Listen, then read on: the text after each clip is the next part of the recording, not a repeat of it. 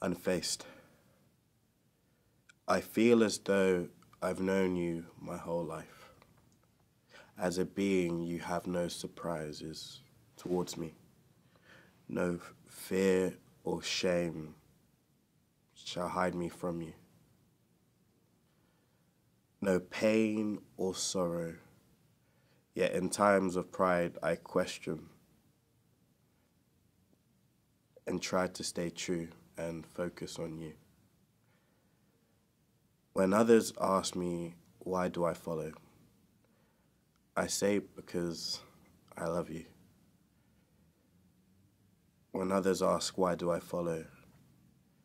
I say because I believe in you. With endless love, adoration, and praise, I search for you.